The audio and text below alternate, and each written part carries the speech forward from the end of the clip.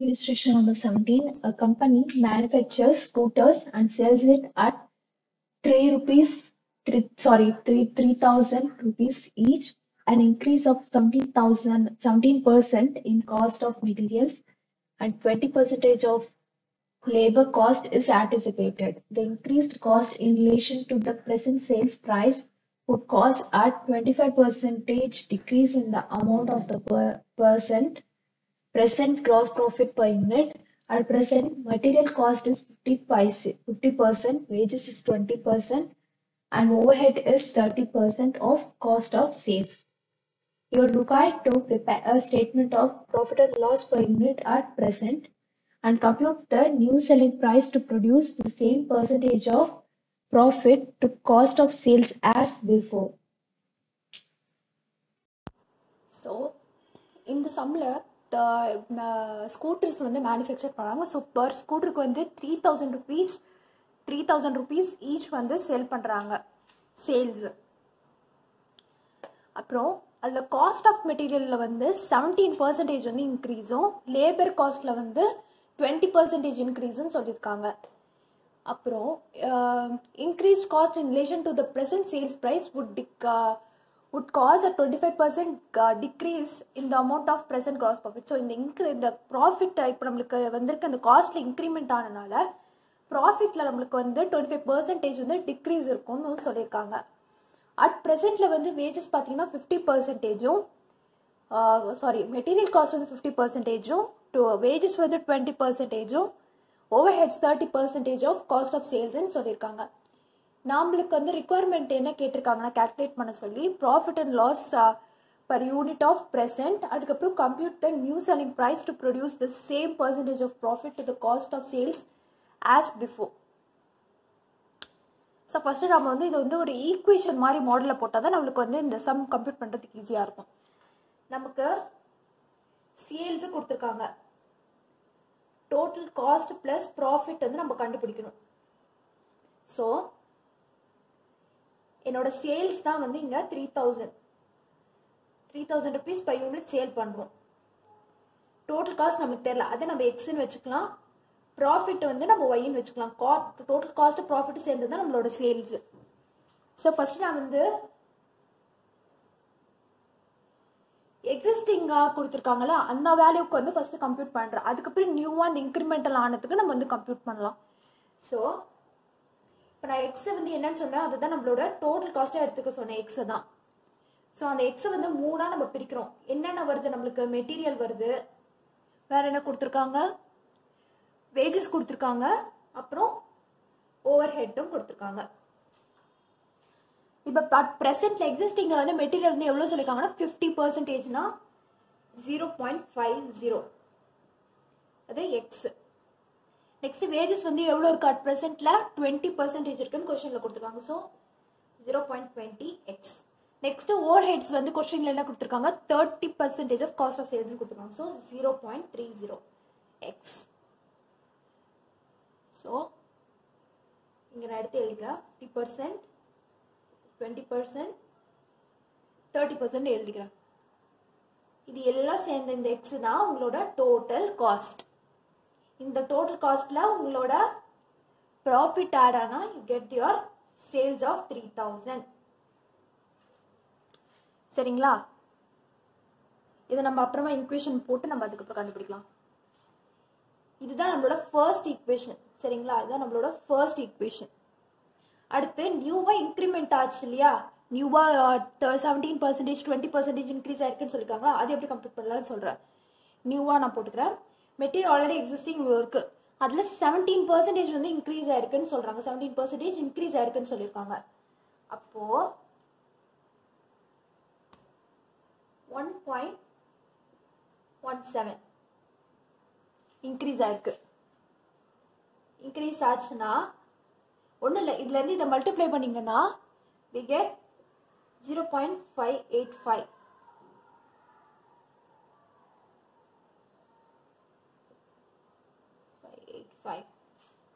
இப்படியும் கம்ப்ளீட் பண்ணலாம். இங்கே இப்போ நான் ஒர்க்கிங் நோட் மாதிரி இங்கே போடுறேன். ஆல்ரெடி எக்ஸிஸ்டிங்காக உங்கள் material zero point five percentage இருக்குது இதில் ஜீரோ பாயிண்ட் செவன்டீன் நம்மளுக்கு வந்து செவன்டீன் பர்சன்டேஜ் வந்து இன்க்ரீஸ் ஆயிருக்குன்னு சொல்லியிருக்காங்க. செவன்டீன் பர்சன்டேஜ் இன்க்ரீஸ் ஆயிருக்கு அது ஜீரோ பாயிண்ட் செவன்டீனாக நான் கன்வெர்ட் பண்ணிக்கிறேன். ஸோ இதுலேருந்து இதை மல்டிப்ளை பண்ணிங்கன்னா we get zero point zero eight five zero point seventeen ஃபிஃப்டியில் வந்து மல்டிப்ளை பண்ணால் we get zero point zero eight five increase தானே ஆகுது. அப்போ இதை நம்ம ஆட் தானே பண்ணணும். இன்க்ரீஸ் ஆகுனால நம்ம இதை ஆட் பண்ணுவோம். டிக்ரீஸ் ஆச்சுன்னா லெஸ் பண்ணுவோம். So increase ஆகுனால zero point five eighty five இப்படியும் போடலாம் இப்படியும் போடலாம். நான் இந்த மெத்தடில் ஃபாலோ பண்ணிக்கிறேன். அடுத்து நமக்கு வந்து மெட்டீரியலில் செவன்டீன் பர்சன்டேஜ் இன்க்ரீஸ்ன்னு பார்த்தோம். நெக்ஸ்ட்டு லேபரில் வந்து டுவெண்ட்டி பர்சன்டேஜ் இன்க்ரீஸ்ன்னு சொல்லியிருக்காங்க. So one point two one point two zero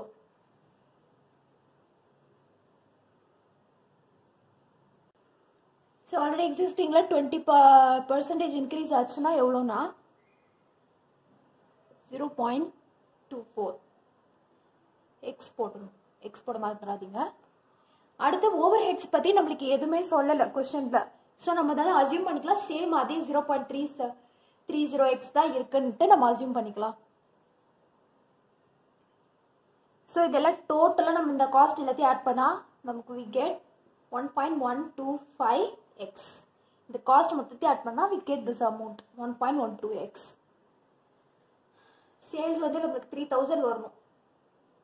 அப்போ அதுக்கு ப்ராஃபிட் எவ்வளோ இருக்கணும்? ஒன் செகண்ட் கொஷின் நீங்கள் பார்த்தீங்கன்னா கொஷினில் வந்து என்ன சொல்லியிருக்காங்க twenty five percentage decrease in profit ப்ராஃபிட்டில் ப்ராஃபிட்டில் டுவெண்ட்டி ஃபைவ் பர்சன்டேஜ் டிக்ரீஸ் ஆயிருக்கு. இந்த மாதிரி இன்க்ரீ காஸ்ட் நம்ம இங்கே இன்க்ரீஸ் பண்ணியிருக்கனால ப்ராஃபிட்டில் டுவெண்ட்டி ஃபைவ் பர்சன்டேஜ் டிக்ரீஸ் ஆயிருக்கு. ஸோ இப்போ நம்ம சேல்ஸ் வந்து ஒன்றுன்னு எடுத்துக்கிட்டோம்னா அதில் ஒன் செகண்ட் சேல்ஸ் வந்து ஒன் ருபீஸ் இருந்துச்சுன்னா நம்ம அதில் டிக்ரீஸ் ஆகுது வந்து டுவெண்ட்டி ஃபைவ் பர்சன்டேஜ் டிக்ரீஸ் ஆகுது. Zero point twenty five percentage decrease ஆச்சுன்னா ஜீரோ பாயிண்ட் செவன்ட்டி ஃபைவ் தான் நமக்கு ப்ராஃபிட்டாக இருக்க முடியும். அப்படின்னு சொல்கிறாங்க ஸோ அந்த zero point seven five Y is nothing but your profit இதுதான் உங்களோட ப்ராஃபிட் சரிங்களா? நான் இங்கே எடுத்து எழுதுறேன்.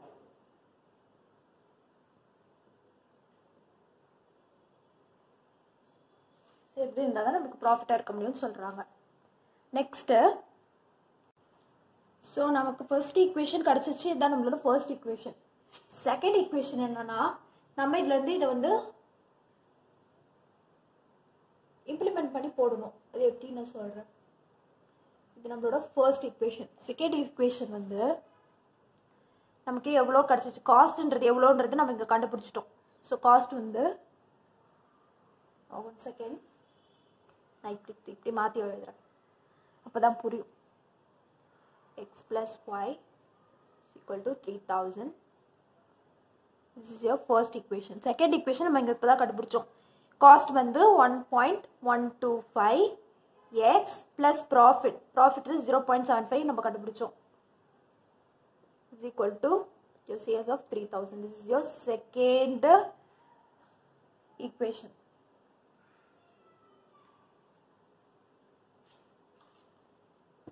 so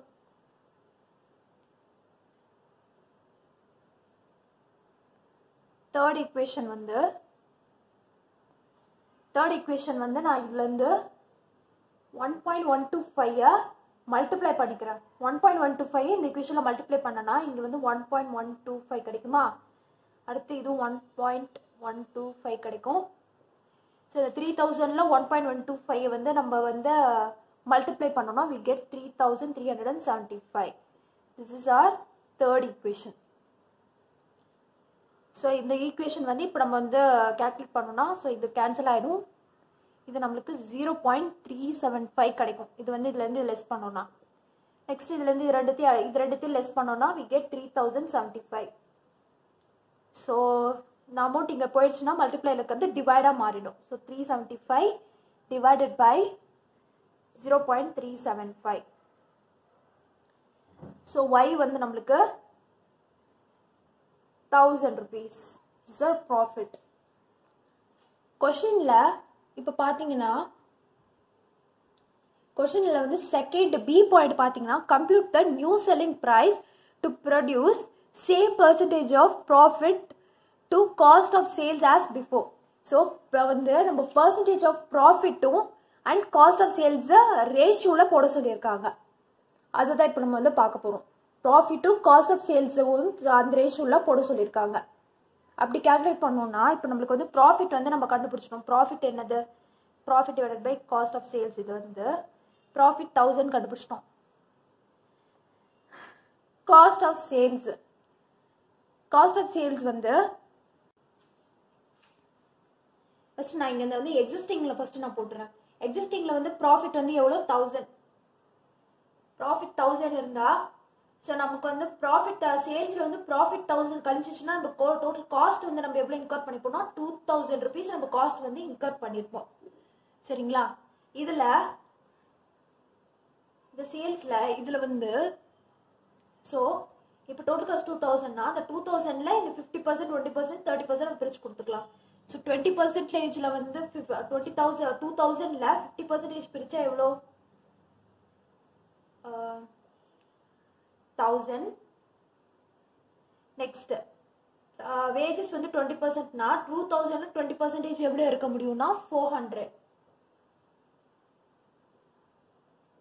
ப்ராக்கெட்ல எழுதுறேன்.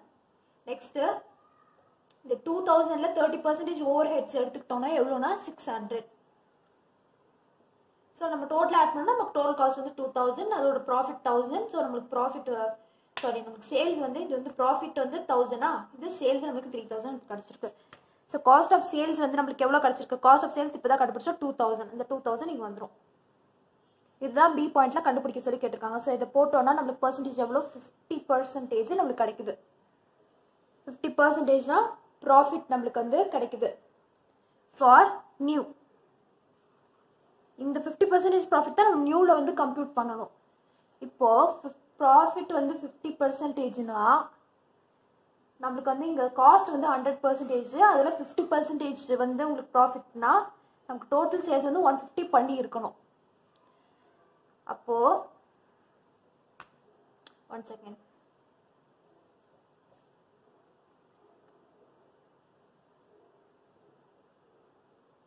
thousand divided by two thousand gives us fifty percent.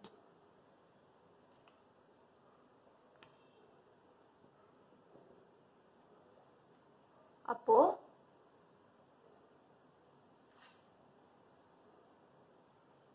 இங்க வந்து நம்ம வந்து த்ரீ தௌசண்ட் ருபீஸ் வந்து இங்க வந்து நம்மளுக்கு வந்து சேல்ஸ் நடந்திருக்கு. இது வந்து பர் யூனிட் காஸ்ட் தான். ஸோ இந்த பர் யூனிட்ல one second one second so இது த்ரீ தௌசண்டாக இருந்துச்சுன்னா நம்மளுக்கு ப்ராஃபிட் வந்து இது ஜீரோ பாயிண்ட் செவன் ஃபைவ்னா அப்போ கண்டிப்பாக செவன் ஃபிஃப்டி இருக்கணும் நம்மளுக்கு. செவன் ஃபிஃப்டி இருந்து இருக்கணும் அப்போ செவன் ஃபிஃப்டியில் வந்து எவ்வளோ வந்து கழிச்ச கழிச்சிருந்தா அது வந்து த்ரீ தௌசண்ட் கிடச்சிருக்கும். போட்டோன்னா two thousand two fifty plus seven fifty இருந்தால் தான் நமக்கு த்ரீ தௌசண்ட் வந்து கிடைக்கும். ஸோ இங்கே வருவோம் அட் ப்ரெசென்ட் வந்து இது வந்து நம்ம பி பாயிண்ட்டில் கண்டுபிடிச்சி சொல்லியிருக்காங்க. ஸோ இது வந்து ஹண்ட்ரட் இருந்தால் இது டூ தௌசண்ட் டூ ஃபிஃப்டி இருக்கணும். டூ தௌசண்ட் டூ ஃபிஃப்டின்றது ஆல்ரெடி இருக்கிறது. ஸோ ஃபிஃப்டி ருபீஸ் ப்ராஃபிட்னா இது வந்து நம்ம கிராஸ் மல்டிப்ளை பண்ணணும். எப்படின்னா two thousand two fifty into fifty divided by hundred போடணும். போட்டா ஸோ அப்போ இது cross multiply பண்ணினோம்னா we get one thousand one twenty five இதுதான் நம்மளோட இன்க்ரிமெண்டல் காஸ்ட்டு ஸோ இந்த இன்க்ரிமெண்டல் காஸ்ட் இங்கே வந்துச்சுன்னா year total sales will three thousand three hundred and seventy five இதுதான் நம்மளோட ப்ராஃபிட் நியூவாக போட்டதுக்கோட ப்ராஃபிட் இந்த அமௌண்ட் தான் வருது நம்மளுக்கு.